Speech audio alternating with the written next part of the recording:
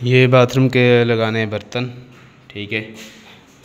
इसके ऊपर बेसन आएगा, ठीक है टेबल टॉप वाला बेसन इसके ऊपर आएगा ये कल कटिंग करके चला गया बंदा, ठीक है। और यहाँ पर शावर आएगा, शावर और यहाँ शावर आएगा, और वहाँ आएगा मुस्लिम शावर का पॉइंट नोटा वो है टेंकी का पॉइंट, यहाँ का मोड़ आएगा, ठीक है। ये है, ये लगाने के बाद इन आपको दिखाएँगे।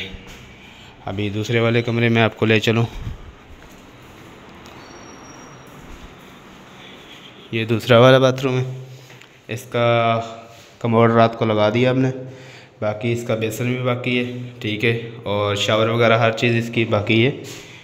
ठीक हो गया। और तीसरा वाला मैं आपको ले जाऊँ। ठीक है, अभी शिफ्टिंग हो रही है इधर। ये तो लॉक है। और ये है किचन यहाँ का।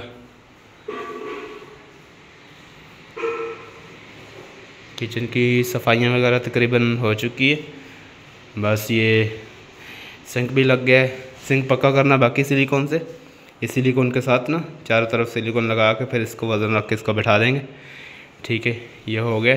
बाकी ये चूल्हे की कटिंग हो गई है, लेकिन चूल्हा बिठाना अभी बाकी है। ठीक हो गया। और इसके बाद ये बाहर आ गई बालकनी।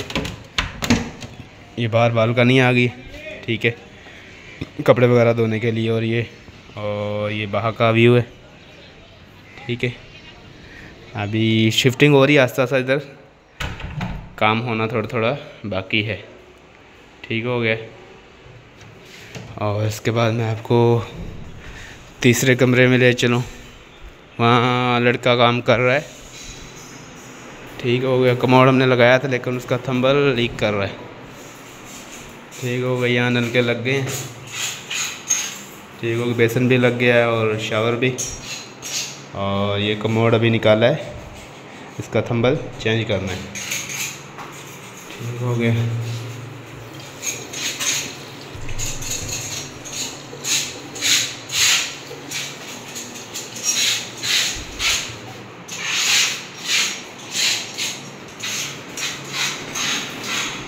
बाकी इसकी अलमारी वगैरह सब बन गई हैं। बस शिफ्टिंग जाकी एक दो दिन में ये।